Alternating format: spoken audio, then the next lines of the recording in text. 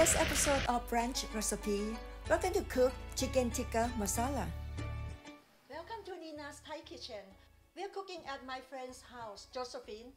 Hi, Josephine. Hi, Nina. Well, I want to learn how to make Indian food. We're gonna do all together, and of course, Brenda. She's uh, cooking Indian food for her whole life, so she's an expert. Hi, Brenda. I need an expert, I don't know. But I have been cooking for a long time. Let's have fun. Brenda prefers to use fresh ingredients and spices, and that is what I love about her cooking. And here is a spice tray that you can find in Indian's kitchen. Step 1 Cooking chicken tikka. Chicken tikka means chunk of chicken marinated and cooked to perfection. You can cook by an oven, pan sear, or grilling. First, marinate chicken tikka.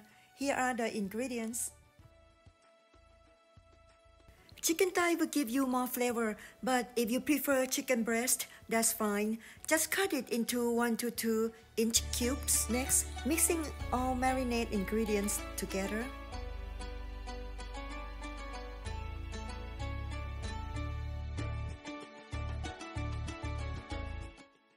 Add chicken, marinate it at least 1 hour. Overnight in refrigerator would be better. Method 1 Oven broil. You can just go ahead and put in the oven and get that charcoal flavor on it. We're going to boil it for about 10 minutes or until it's browned. Wow, look at that. Wow! That's what we get. Just set it aside for now. Method 2 Pan sear. At medium heat, sear the chicken until golden brown or a little bit burnt to get a sharp flavor. Transfer chicken on a plate. I like this method because you can use the same pan and the leftover oil to make the masala sauce. Step 2 Making masala sauce. Masala sauce is a tomato base with wonderful spices. At medium heat, add olive oil and chopped onion. Stir onion until it turns golden brown. Add ginger, garlic, and serrano pepper. Stir until fragrant. Add 1 cup of fresh or canned tomato. I prefer fresh tomato, but it offers more tangy and tart flavor. You may want to add 1 teaspoon of sugar to blend all of the taste together. However, I recommend you to taste it first. You want to see the tomatoes all crushed. I see. And again, we used uh, fresh tomatoes versus canned tomatoes. Canned tomatoes won't take that long. I The fresh tomatoes take a little bit longer. I see. That was uh, meat masala, Uh-huh. okay? And this is paprika, Okay. coriander, Wow, that's good. That smells good. cumin, Cumin, turmeric. Indian food. Can't go without that. And salt. Now we're gonna blend this together. Add our one cup of water in here.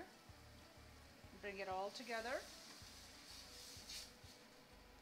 At this point, you wanna keep it at medium high heat.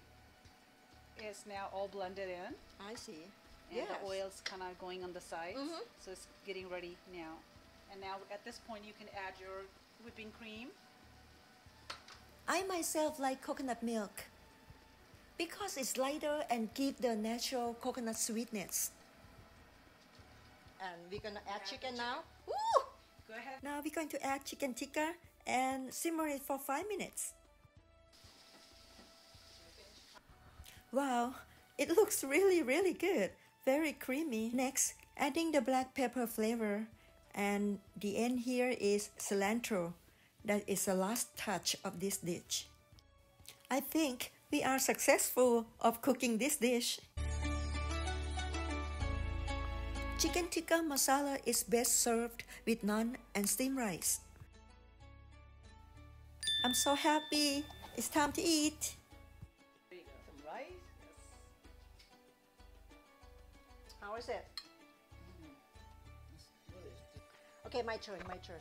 Okay, I want this piece of chicken mm, with rice, of course. This is mine. Okay. good. Mmm. The naan. And I'm gonna It do is the so naan. good. Yes, I'm gonna do with the naan. Okay. And to that, I'm gonna add the serrano pepper. Oh my goodness. It Has to be spicy. This is so good. I give her a 10.